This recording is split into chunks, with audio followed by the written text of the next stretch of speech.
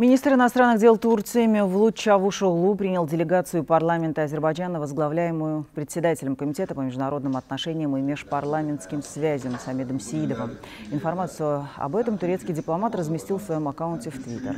В публикации Мевлут Чавушоглу отмечает, что Шушинской декларацией братские связи двух стран еще более укрепляются во всех областях.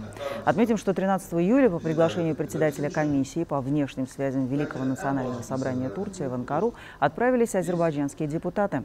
Парламентарии примут участие в мероприятиях, посвященных пятой годовщине попытки государственного переворота в Турции 15 июля 2016 года. В ходе визита запланировано также проведение встреч между азербайджанскими и турецкими депутатами. Визит завершится 16 июля.